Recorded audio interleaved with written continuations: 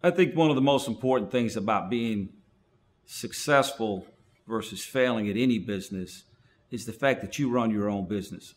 The one thing that I'm amazed at is I see so much of absentee ownership. And there's this mindset that you can just build this business and then it'll go on cruise control and that it will just, as you enjoy life, it will continue to take care of you. But that's the furthest thing from the truth.